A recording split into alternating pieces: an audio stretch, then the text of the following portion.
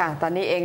เราจะไปพูดคุยกับคุณกิติชัยเตชะงามเลิศกันเลยนะคะ คุณผู้ฟังคุณผู้ชมทุกวันพฤหัสตรงจุดนี้นะคะสวัสดีค่ะคุณกิติชัยค่ะครับสวัสดีครับคุณม่อนครับสวัสดีครับท่านผู้ชม เมื่อครับสัปดาห์ที่แล้วคุณกิติชัยได้แนะนำหุ้นของโรงพยาบาลกรุงเทพ BGH ไปนะคะแล้วก็ BGH เองก็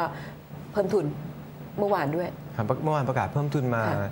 เอ่อเป็นสองเป็นสองแบ่งเป็น PO กับ PP ค่ะ PO ก็คือขายให้กับประชาชนทั่วไป 77 ล้านกว่าหุ้นค่ะ แล้วก็ PP นี่ถือว่าขายให้กลุ่มบุคคลชาวว่าเจาะจงอีก 77 ล้านกว่าหุ้น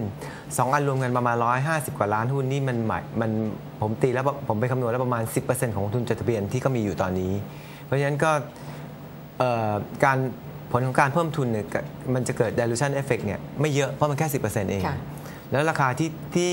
เก่งๆกันไว้ก็น่าจะแถวผมเดาว่าคงแถว 80 บาทอะผมคิดว่าอย่างนั้นเพราะฉะนั้นราคาหุ้นมันก็ต้องสูงกว่าราคา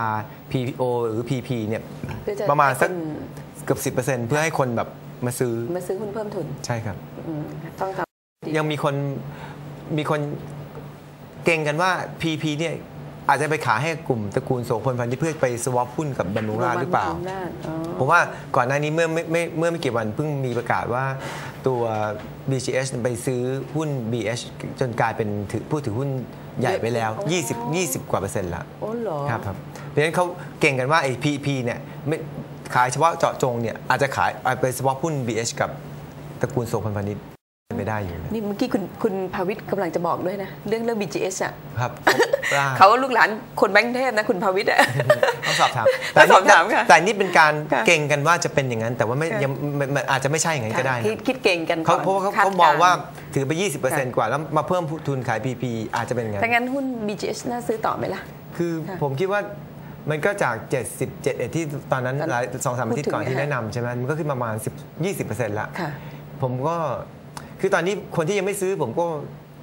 รอรอดูนิดนึงก่อนก็ได้ เพราะว่าระยะสั้นมันก็ขึ้นมาเยอะ เพราะว่าผมค่ะเชื่อว่าช่วงนี้ราคาขึ้นก็ไม่เยอะลงก็ไม่เยอะละค่ะเพราะว่าคนจะรอดูว่าหุ้นเขาจะตั้งราคา POPP เท่าไหร่ค่ะอ๋อค่ะรอรอดูเราดูราคาที่ตรงนี้กำหนดออกมาอ่าเพราะฉะนั้นตรงนี้ตอนโอกาสที่จะลงเยอะหรือขึ้นเยอะน่าจะไม่ไม่แล้วอ่าอ่าแล้วมีหุ้น อะไรอีกครับ BLA ใช่ไหมที่คุณตามตลอดเวอ๋อลาเอา BOA ผมผมมีไปทำตัวเลขนะครับค่ะว่าเอ่อตัว BOA เนี่ยมันคุณขึ้นน้อยกว่าตลาดเยอะมากอ๋อค่ะตลาดเนี่ยเมื่อวันที่ 4 ตุลาคมปี 54 คือปีที่แล้วเนี่ยค่ะดัชนีต่ำสุดที่ 843 ที่ตอนนั้น BLA อยู่ที่ 40 บาทค่ะ เรามาดูณเมื่อวานนี้นะครับเพราะวันนี้ผมไม่ทราบว่าปิดเท่าไหร่ค่ะณเมื่อวานเนี่ยดัชนีอยู่ที่ 1,164 จุดค่ะหมายถึงว่าดัชนีขึ้นมาจากโลเมื่อปีที่แล้วเนี่ย843ค่ะสามสามสิบแปดเปอร์เซ็นต์38ขึ้นมา38 38เปอร์เซ็นต์นะฮะค่ะแล้วมาดู BLA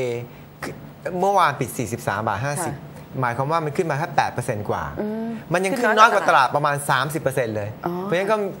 มันก็มีโอกาสที่ว่า หุ้นตัวนี้เป็นหุ้นที่ปัจจัยพื้นฐานดีอยู่แล้วค่ะมีแต่ราคามันขึ้นน้อยกว่าตลาดประมาณ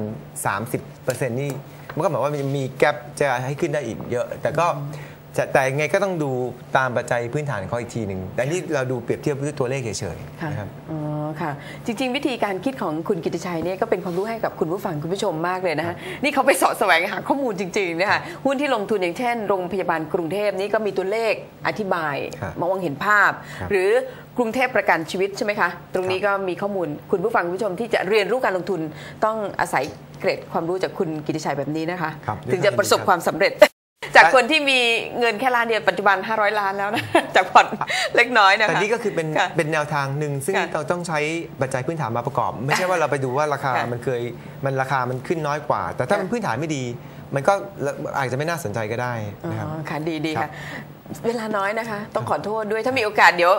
ช่วงสงกรานต์อะจะเราจะทำเทปกันเต็มๆ ในแต่ละช่วงหนึ่งชั่วโมงกันนะคะ คุณผู้ฟังอดใจไว้ก่อนสักหน่อยนะคะครับผม